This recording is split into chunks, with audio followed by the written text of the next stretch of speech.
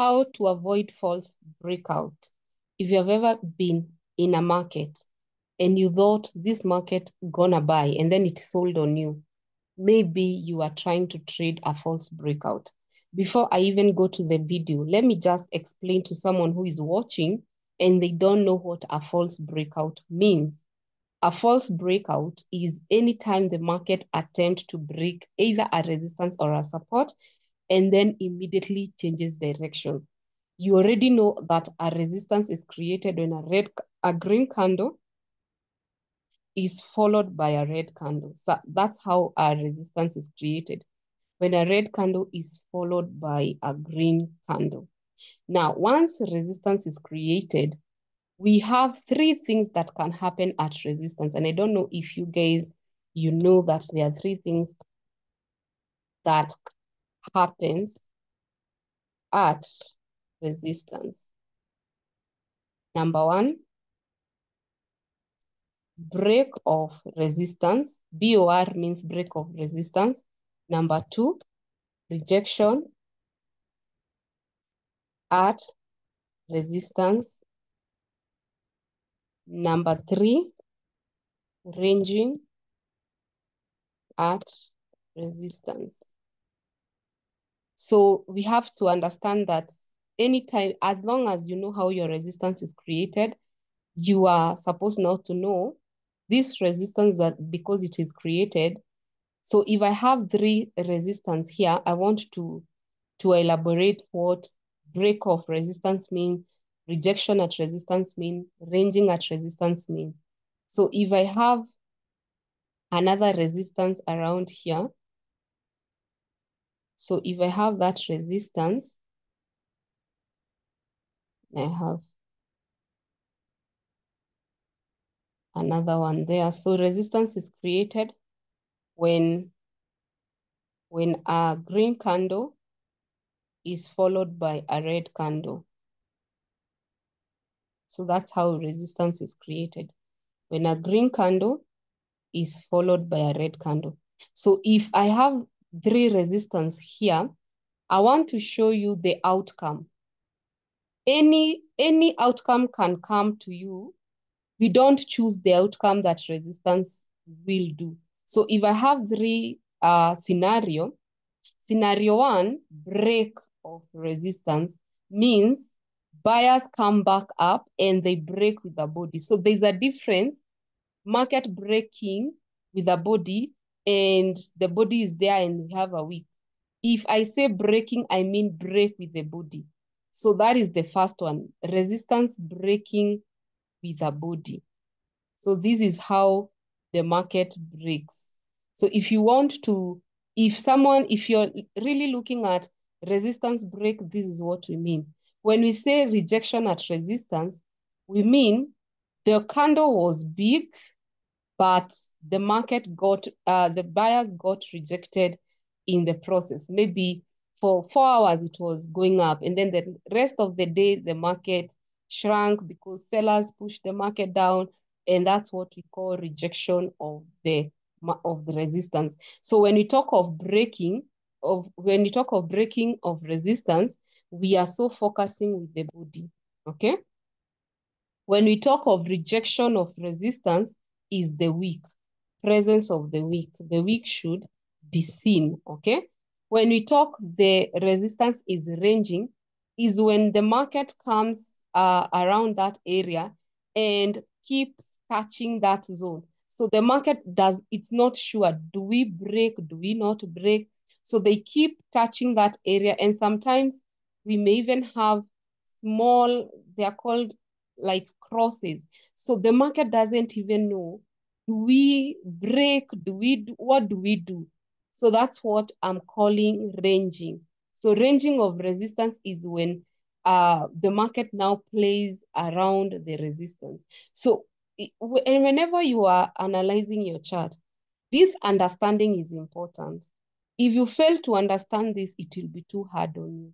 So you have to understand that my resistance can be broken, my resistance can be rejected, and my resistance can be, can range, can go on a sideways. So when we talk of fake out, sometimes and most of the time, we have seen when resistance break, initially the mind of a trader, they think the market will continue to buy because the momentum candle has shown us buyers are in control.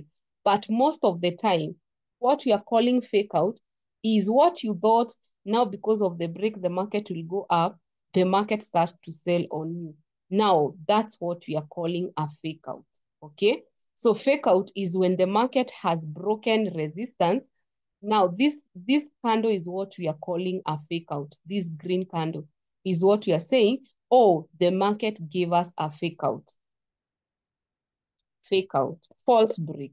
So this fake out or false break is where all the traders thought the market will go up and the market starts to go down.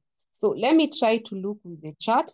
You can see around here, this is a fake out, guys. So we have a resistance. Resistance is created when uh when a green candle is followed by red. So if this was your trade, if you were here and majority of people entered this trade, what do you think will happen? People will enter this trade thinking it will continue to go up because it has broken resistance. But instead, the market continued to go down. It is sold. So here, this is what we are calling what? We are calling a fake out. I hope now you have understood what a fake out is. I hope you have understood what a fake out is. So how do you prevent fake out? How do you prevent fake out? It's very easy. By using this technique, you will know how to prevent this fake out. So let, let's, let's see how to prevent fake out. For instance, you will be you will find your trade uh, like that. So let me give you with an example. You will be analyzing the market and this market was going down and now you don't know, is this a reversal? Because the market was, for some times was going down. And then now buyers have started to push the market up. So at this point, you don't know, is this a reversal or a retracement? Because if it is a reversal, it means the market should continue going up, creating high highs and high lows. That's what we mean by reversal. But if this market is just a retracement, it means it will be going down because a retracement is just a short a short change of direction of the chart. So now, if you're analyzing this chart and you don't consider all those things, when you come and you put your resistance here, what you, you will see, you will see a market that has broken out. And now you will, you can say, oh, by the this is a very good reversal because buyers are in control and they have power. And maybe they are coming to the second zone. Maybe they are coming here. And you see now you're judging the market based by the market breaking. And you can you can either even put your buy trade. You can come and put your buy trade. And this is how majority of people, traders, uh, they trade. So even you can be, let's say, even you want like 50 pips or something. And the first day, the market does not move as much and there's no trigger for you to exit. But after that, the market starts to go down on you and you're wondering what really happened. Why did the market, after breaking, now this is what we are calling a false break. This is what you are calling a false break. So how would you have avoided this? It is easier. Anytime you will ever see a market breaking, guys, anytime you will ever see a market breaking like this, the market has broke or uh, has broken that resistance. Anytime you see a market breaking that resistance, uh, you have to understand one thing, that on lower time frame, we may be sitting on a zone. So that's how to avoid fake out. So anytime your resistance is being broken, you have to be sharp. So this is daily time frame. You have to be sharp. What is what is happening on the four hour?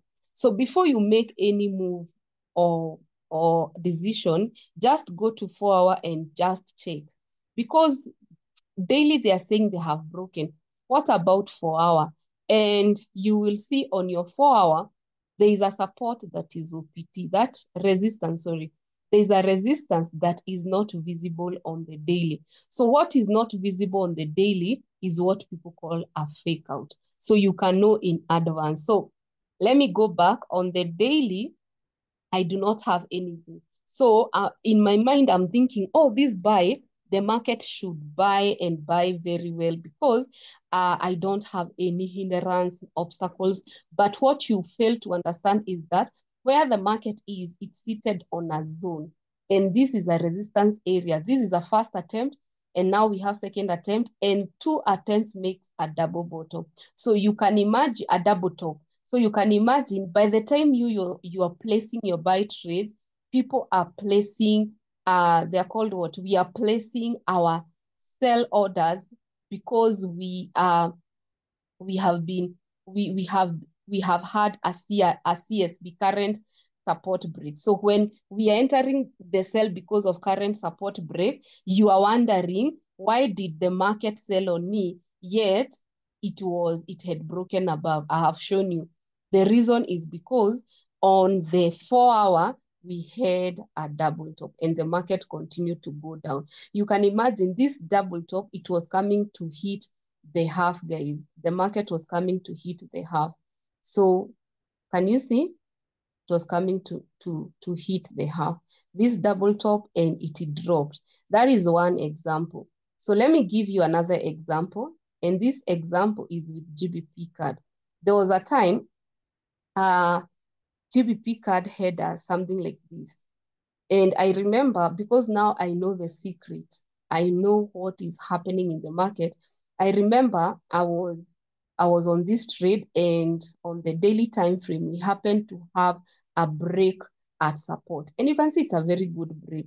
And what they do, they will make sure once they break like this, they will range this market at this area for many people to get to get into the sell uh, sell side because they don't people don't understand that this is a fake out but they are seeing how the market will come back either to this area or this next support. So uh, anyone who is selling they are blinded because they can't see anything here. But if you go to four hours you're seeing there is a support that is here. You can see that support. There is a support already that has created a double bottom. So you you you you are wondering why don't I just sell and the market just behave?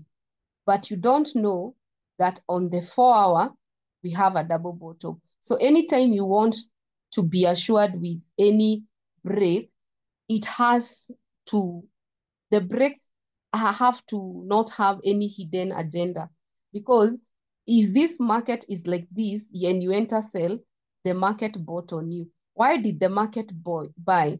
Why do you think this market bought and yet they had broken here? Is because according to four hour, they followed this pattern. They followed the double bottom pattern. You can see. So they never violated the double bottom. You can see how they ranged and we got our CRB around here. So when we were being given an entry for buy, majority were selling. So we had a CRB and the market went up to the neckline and completed the distance. You can imagine even maybe it went half of the distance. And that is one of the example to show you. Anytime you see market breaking, also daily for, be, be cautious. Before you do anything, just be cautious. Uh, the next example is GBP USD. So here we have GBP USD and I want to show you what really happened with this market. So this market had a break and this was last week trade. So this is what happened with GBP USD. And if you traded this double bottom, you are very lucky. Um, we had a break of double bottom. You can see very clear, a break not double bottom, a support break. So majority of people, I don't know how people analyze, but the majority of people are selling because the market keeps breaking support. But what you don't know is that when you go to four hour time frame and you squeeze the chart like this, where the market has broken, it has activated this double bottom. So we have a double bottom that has been activated. And this is the double bottom that we call OPT. Anytime you hear me say double bottom or PT, what I mean is that that double bottom is not on the daily. You can see it's not on the daily. So you, you're seeing support breaking, but other time frame, we have already a pattern. So if we were to enter with four hour, we would only wait for current um, current resistance to be broken. We call it CR. So we wait for current resistance to be broken. And this was our entry. But on the daily, people didn't understand why after the market breaks, it has gone up immediately. You see what now you're calling a fake a fake out or a breakout in another time frame it has a pattern and the market is on the right direction so by the time people are calling these things a fake out is just because they uh, they activate new patterns on lower time frame and what happened from there the market continued to buy it bought it bought up to up to the neckline and you can see that's what is happening to that trade and the last but not least is AUD USD. This is our last example. So if you go to the daily time frame uh, of AUD, and these, these are trades that we were last week, uh, the market was a clear, it was so clear. You know, when I tell people, don't trade the seen, always trade the unseen because the unseen is profitable than the seen. So here we had a break. So this was the market. So it we had a break like that the market, uh, we had this one, the market uh, had a, a break at support. So this is the break at support. And we stayed for three days not knowing what to do. So here we had a breakout. But the question is, once we had the breakout, what was four hour? What was happening on four hour? So you can see on four hour, we had a, an area where the double bottom was not yet activated. So yes, we have a break, but they have not yet activated here. They have not activated here.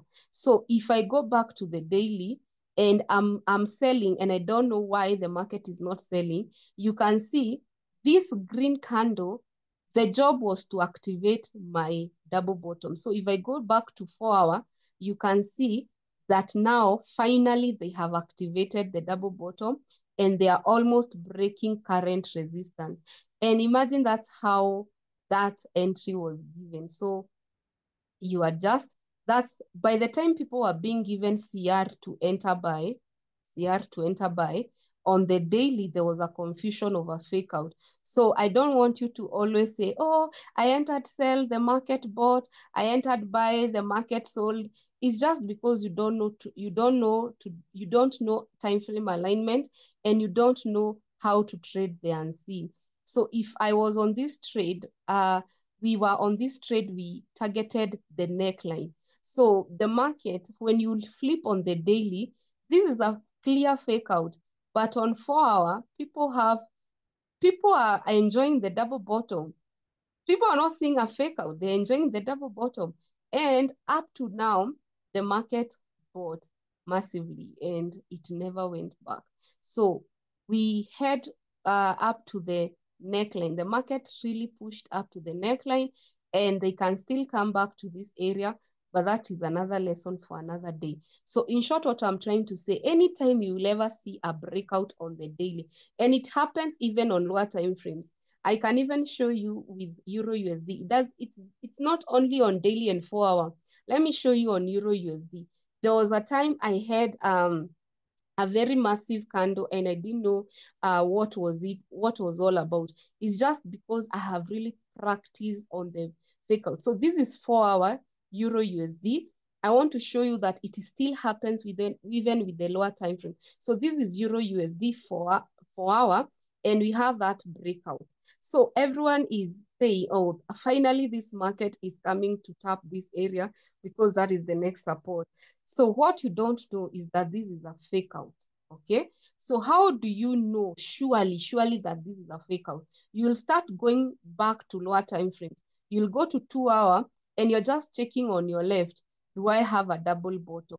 And you can see I do not have. And then you go to one hour and you check on the left and guess what?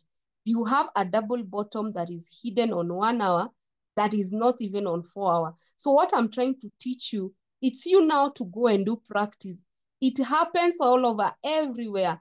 As long as you find a break of structure and you are ready to enter that trade, first think before you enter because This double bottom was not on the four hour.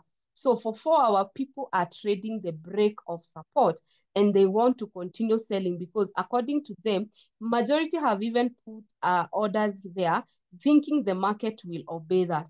And because the market makers know you want to put your orders there. So the orders will be activated. You can see the orders were activated. But yeah, after the orders were activated, the market bought. The market bought. Why did the market buy? It's because on one hour, the market was fulfilling a pattern. Okay, so anytime you will ever see a fake out or you ever see a break of support or a break of resistance, before you enter buy or sell, ask yourself, if this is a fake out, it has activated a new pattern. So you will be able now to go to scale down. I have shown you, you can even scale down even for our 20, 30 minutes, 15 minutes. It's all about mastering that this time frame has broke. Let me go and look what is making it to be a fake out. Okay, guys, all the best. Thank you for watching. And I, I will emphasize that I don't sell Bitcoins. Don't be scammed. I get messages every day. People saying that they gave their money uh, to people uh, to be uh, to be traded for. I don't trade for people. Me, my business is to come here and teach you and train you. And if you want any of my course, you see, I've given you my number because I don't want anyone to say I never gave out my number. My videos, you can get my number. This number, you will not pretend. And even if you text this number, you will already know that this is my number. If you want my course is a thousand dollars, one strategy is a hundred dollars, and I can add Zoom. Let me add here Zoom meeting one on one for one month. For one month is 1500. So is 1500. Let's see. So this is for international members. So if you want that Zoom meeting one-on-one -on -one for one month is 1500. One strategy is $100 and 12 modules, the whole course is $1,000 that is recorded. If you want my paid mentorship. If you don't have the money, always come back to my videos at 3 p.m. Kenyan time and you will always learn something new. All the best, guys. See you in the next one. Bye-bye. See you. Love you.